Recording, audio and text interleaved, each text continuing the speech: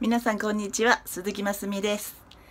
えっと今日は私の大好きな草木についてえっとうちにいっぱいある草木なんですけど少しご紹介したいと思います。はいこれはもう10年ぐらいになります。何度かご紹介してますけど万平油です。えっと、種から芽が出てこんなに大きくなりまして10年ぐらい、えー、っと植木鉢ですからもちろん実はならないんですけど今年も若葉がこんなに出てきました。そして次に一昨年の万平油です。一昨年ですね。これも種から出たんです。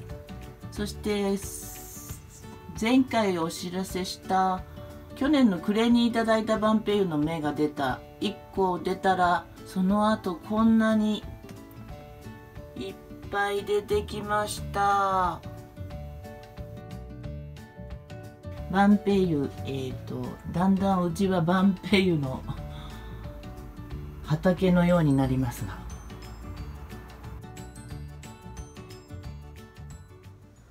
はい。えっ、ー、と、その後に、先日熊本でいただいてきたふきのとう、それでふき味噌を作ってみましたので、それもご紹介します。季節の味ですね。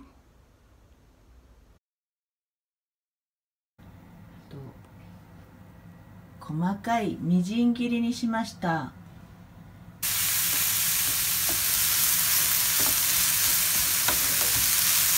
私流の作り方ですけどまずごま油で炒めます。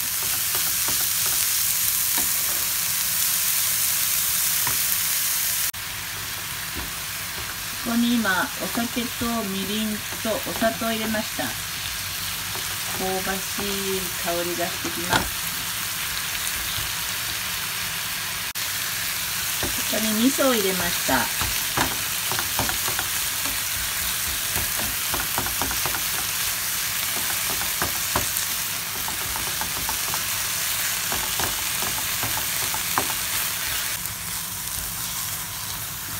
水分を飛ばしても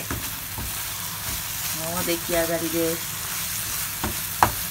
あったかいご飯にのせてもお酒のおつまみにしてもいいですね。春の香りいっぱいのき味噌です。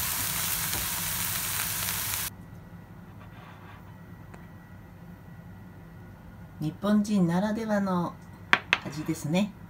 どうぞ召し上がれ。